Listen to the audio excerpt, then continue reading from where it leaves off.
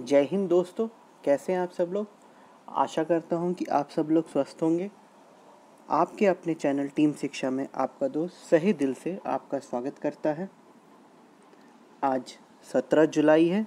आज क्या क्या करेंट अफेयर अपडेट हुए जो आपके सभी प्रकार के competitive exam, bank SSC railway state level exam UPSC इन सबसे रिलेटेड जो भी करेंट अफेयर अपडेट है, वो मैं आपके लिए लेके आया हूँ।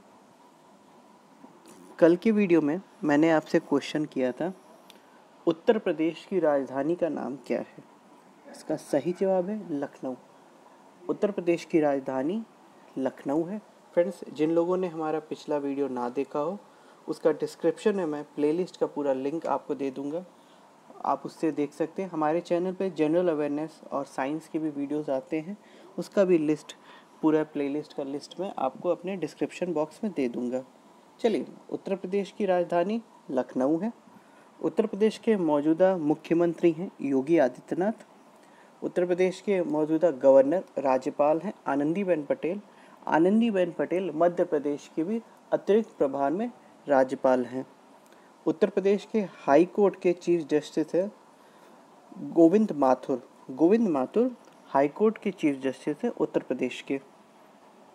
चलिए, आज के क्वेश्चन से शुरुआत करते हैं। भारत सरकार की तरफ़ से हाल में ही तुर्कमेनिस्तान में भारत का अगला राजदूत किसे नियुक्त किया गया है? इसका सही जवाब है ए विधु पी नायर को। विधु पी नायर को तुर्कमेनिस्तान में भारत का अगला राजदूत नियुक्त किया गया है। भारत सरकार द्वारा विधि पी नायर तुर्कमेनिस्तान में भारत के अगले राजदूत नियुक्त हैं। वे वर्तमान में विदेश मंत्रालय के निर्देशक के रूप में कार्यरत हैं। ये 2002 बैच के विदेश सेवा अधिकारी हैं। 2002 बैच के ये इंडियन फॉरेन सर्विस ऑफिसर हैं। इंडियन फॉरेन सर्विस का ऑफ़िस का मुख्यालय नई दिल्ली में है, साउथ ब्लॉक में। वर्तमान में भारत के विदेश मंत्री एस जयशंकर प्रसाद हैं। नेक्स्ट क्वेश्चन, नाबार्ड ने अपने उनतालीस, थर्टी नाइनवे स्थापना दिवस पर पहली बार निम्न में से किसका आयोजन किया है?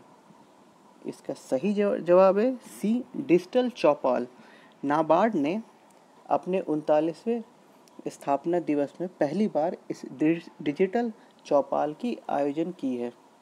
अच्छा ये डिजिटल चौपाल क्या है? यह एक ऐसा, इसमें पहली बार जैसे दूसरे प्रदेशों में जो लोग हमारे भाई रह रहे थे वो अपने अपने शहर, अपने अपने गाँव जो मजदूर भाई वापस आए हैं, आर्थिक गतिविधियों को बढ़ावा मिले। नाबार्ड ने जल समस्या के मद्देनजर जम्मू कश्मीर और लद्दाख संघ शासित प्रदेशों के लिए एक एक स्प्रिंग शेड आधारित वाटर शेड परियोजना की मंजूरी दी है।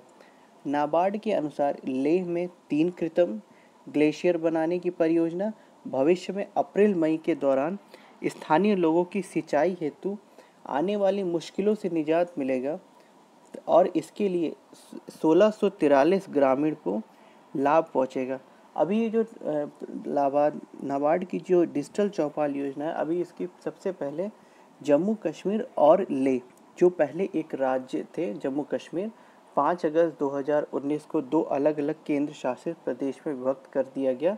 उसके बाद से इसमें अभी वहाँ पे डिजिटल चौपाल की शुरुआत की गई है। इसके बाद जम्मू कश्मीर और लेह के बाद आपका हिमाचल प्रदेश में ये है। ऐसे करते हुए सारे प्रदेशों में इसको शुरुआत करना है।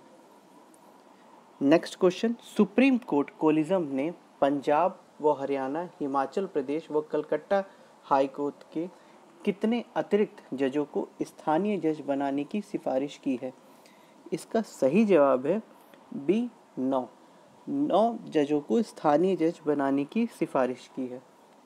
हिमाचल पश्चिम बंगाल के जो वर्तमान में हाईकोर्ट के चीफ जस्टिस हैं, उनका नाम टीबी राधा कृष्णन है। सुप्रीम कोर्ट कोलिज्म ने पंजाब और हरियाणा उच्च न्यायालय के सात अतिरिक्त न्यायाधीशों की नियुक्ति के प्रस्ताव को उच्च न्यायालय के स्थायी न्यायाधीश के रूप में मंजूरी दे दी है। इसमें जो न्यायाधीश हैं, justice Manju Manjari Nehru Kaul, justice Harman Singh Sethi, justice Arun Monga, justice Manoj Bajaj, justice Lalit Batra, justice Arun Kumar Tyagi और जस्टिस हरनेश सिंह गिल शामिल हैं। पश्चिम बंगाल के हाईकोर्ट के चीफ जस्टिस हैं वर्तमान में टी बी राधा कृष्णन पश्चिम बंगाल की राजधानी कोलकाता है। पश्चिम बंगाल के मुख्यमंत्री का नाम ममता बनर्जी है। पश्चिम बंगाल के राज्यपाल का नाम जगदीश धनकर है। हरियाणा पंजाब पंजाब की राजधानी चंडीगढ़ है। पंजाब के मुख्यमंत्री हैं कैप्टन अमरिंदर सिंह, राज्यपाल हैं वीबी सिंह बंडोर यहाँ के चीफ जस्टिस हैं हाईकोर्ट के रविशंकर झा।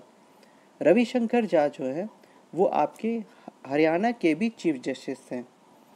हरियाणा की राजधानी चंडीगढ़ है।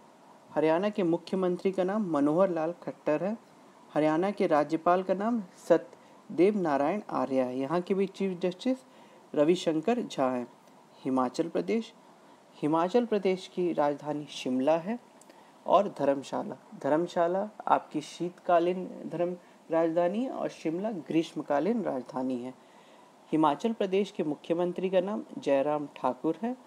हिमाचल प्रदेश के राज्यपाल का नाम बंदारू दत्तात्रेय है। हिमाचल प्रदेश के मुख्य न्यायाधीश का नाम नारायण स्वामी है। नेक्स्ट क्वेश्चन केंद्रीय स्वास्थ्य मंत्रालय ने हाल में ही किस बीमारी की पहली स्वदेशी वैक्सीन की मंजूरी प्रदान की है? इसका सही जवाब है निमोनिया। केंद्रीय स्वास्थ्य मंत्रालय ने निमोनिया की पहली वैक्सीन की मंजूरी प्रदान की है। ये स्वदेशी वैक्सीन होगी। टीके के लिए विशेष समिति की मदद से डीजीआई पुणे की company Serum Institute of India द्वारा सौंपे एक क्लिनिकल ट्रायल के पहले, दूसरे और तीसरे चरण के आंकड़े की समीक्षा और करने के बाद टीके को बाज़ार में उतारने की अनुमति दी गई है। यह टीका इंजेक्शन की मदद से लगेगा। स्वास्थ्य मंत्रालय ने बताया है कि इस टीके का उपयोग निमोनिया के बचाव के लिए बड़े पैमाने पर किया जाएगा।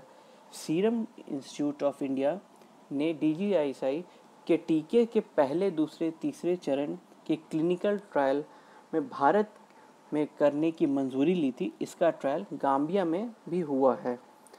अब तक क्या था कि निमोनिया का जो था, आपको दवा खाते थे उसमें कभी किसी को फ़ायदा होता था, किसी की, अगर किसी का इम्यूनिटी सिस्टम अच्छा है तो उसको अच्छा रिस्पॉन्स आ जाता था। लेकिन किसी का अगर ठीक नहीं है तो उसको ये, उस लेवल का रिस्पॉन्स नहीं आ पाता था फ्रेंड्स तो इसलिए ये एक पहली स्वदेशी वैक्सीन होगी ये इंजेक्शन होगा जिससे इसका जो क्लिनिकल ट्रायल है, वो कंप्लीट कर लिया गया है। तो अब ये अगर मार्केट में आता है, इससे अगर किसी की इम्यूनिटी कम भी है तो उसे भी 95 परसेंट है उनका दावा है कि बचाया जा सकता है। बाकी 5 परसेंट इसलिए है क्योंकि अब किसी का इम्यूनिटी लेवल एकदम कम है और वो एकदम लास्ट स्टेज पे है। फिर भी वो लोगों का प्रयास रहेगा हम लोग का इस वैक्सीन से प्रयास रहेगा, लेकिन ये है कि 95 परसेंट केसेस निमोनिया के अब ख़त्म हो जाएँगे भारत से। नेक्स्ट क्वेश्चन हाल में ही बांग्लादेश में भारत का अगला राजदूत किसे नियुक्त किया गया है? इसका सही जवाब है ए, विक्रम दुर्वाई स्वामी। राजनायिकों की नियुक्ति में बदलाव के तहत भारत सरकार विक्रम दुस्वाई स्वामी को बांग्लादेश में भारत का नया उच्चायुक्त नियुक्त की है। उन्नीस बैच के आईएफएस अधिकारी दुरास्वामी फ़िलहाल अतिरिक्त सचिव के तौर पर तैनात हैं।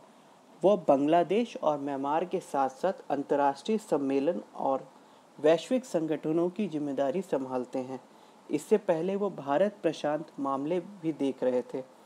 2012 से 2014 तक विदेश मंत्रालय में अमेरिकी प्रभाग में संयुक्त सचिव पद पे भी काम किए हुए हैं।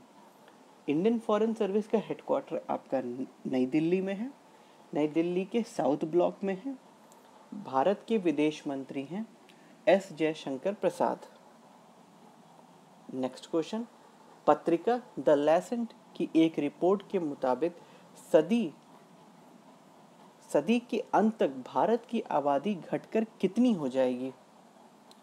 इसका सही जवाब है एक दशमलव छ अरब।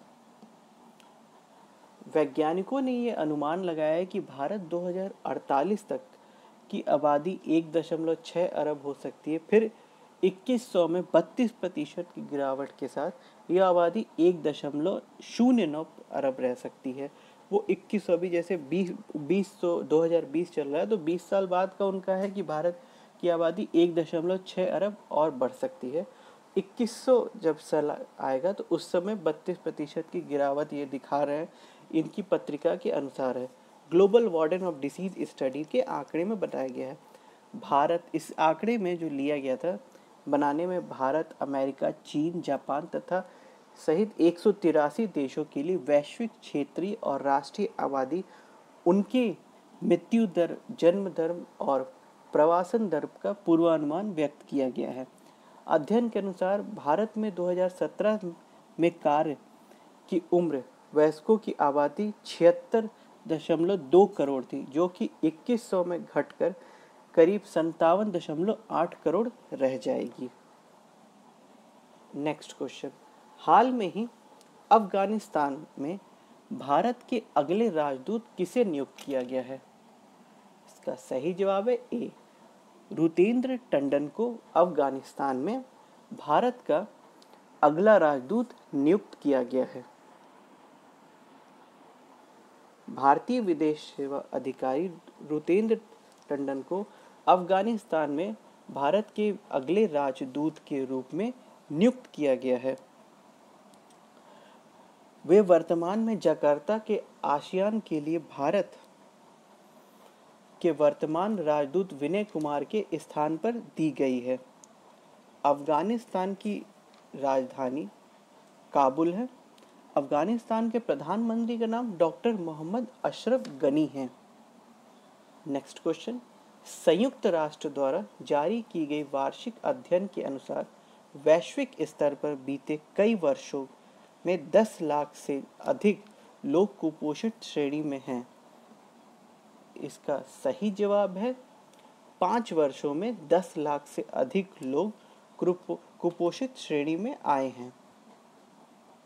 विश्व खाद्य सुरक्षा और पोषण के उसमें रिपोर्ट जारी की थी 2019 में तकरीबन 690 बिलियन लोगों को भूखमरी का सामना करना पड़ा है।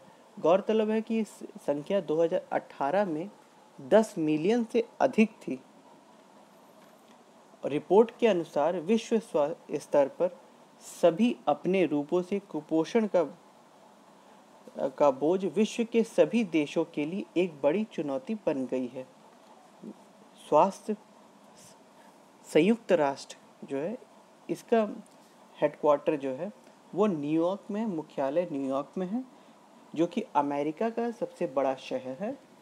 यूनाइटेड स्टेट ऑफ़ अमेरिका की राजधानी वाशिंगटन डीसी है। वर्तमान में यूनाइटेड स्टेट ऑफ़ अमेरिका के राष्ट्रपति हैं डोनाल्ड ट्रंप यूनाइटेड नेशन 24 अक्टूबर 1945 में गठन किया गया था।